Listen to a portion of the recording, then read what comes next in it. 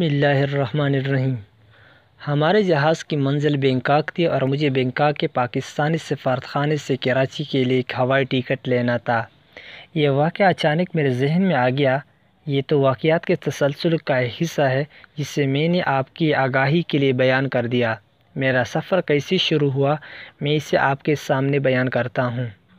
मुझे अफ़गान एयर के जहाज़ पर भी भेजा जा सकता था जो यूएनओ ने पाकिस्तानी महाजरों के लिए चार्टर किए थे। लेकिन अफगान एयर के जहाज़ दिल्ली के हवाई अड्डे अड्डे पर रिफ्यूलिंग के लिए उतरते थे। इस दौरान भारतीय सीबीआई और फौजी जासूसी इदारे के कारकुन जहाज़ में आकर मुसाफिरों को चेक करते थे और अगर इनमें कोई वांटेड होता तो इसे उतार कर ले जाते थे। मेरा नाम तो इनके मतलूबा अफराद में नुमाया था। और फिर काठमांडू में भारतीय सफारतखाना मेरे असलियत का इल्म हो जाने पर मेरी नकलो हरकत पर मुसलसल कड़ी नज़र रखता था। इसलिए मुझे काठमांडू एयरपोर्ट पर चीन की सफारती ही गाड़ी में लाया गया। इमिग्रेशन के कागजात भी इन्हीं के, इमिग्रेशन के कागजात भी इन्हीं के वसाइल से मेरी गैर मौजूदगी में मुकम्मल हुए और जहाज़ की आइन रवानगी के वक्त जबकि सीढ़ियाँ हटाई जा रही थी, सफारती गाड़ी जहाज़ के करीब आई और मुझे जहाज़ में बिठा दिया गया। इन अन तमाम इन तमाम एहतियाती तदाबीर के बावजूद जब तक जहाज़ ने खासी परवाज़ ना कर ली, अंदेशे मेरे दिमाग में सर उठाते रहे। जहाज़ रॉयल नेपाल एयरलाइंस का था और बहुत कम मुसाफिर थे। मैं नस्बता ज़्यादा खाली सीटों के हिस्से में एक सीट पर बैठा। पेंकाक तक का सफ़र साढ़े छः घंटे का था। जहन ने माजी में छलांग लगाई और जहाँ आन के रुक और जहाँ आके रुका, वो सोलह से, वो सोलह दिसंबर उन्नीस सौ इकहत्तर का मनहूस दिन था।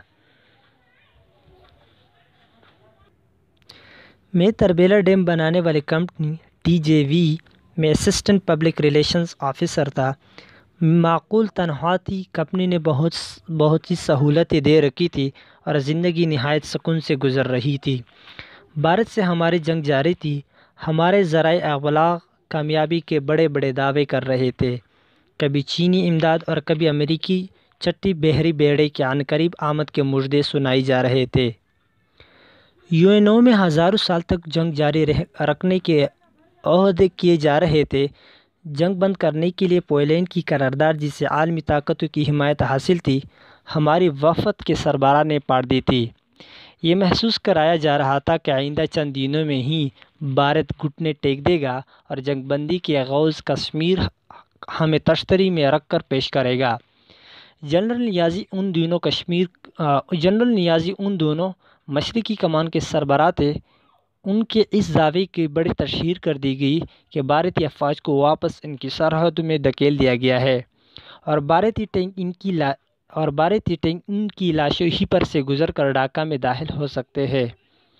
इन खुशकिन दावों से बहलाए गए दिल पर बीबीसी की यह खबर बिजली बनकर गिरी कि 16 दिसंबर उन्नीस सौ इकहत्तर को पाकिस्तानी अफवाज हथियार डालने का माहदा कर चुकी है और जनरल नियाजी ने इस और जनरल नियाजी ने इस रस्म की अदायगी के लिए अपने पुराने साथी भारतीय जनरल अरोड़ा को ढाका आने की दावत दी है।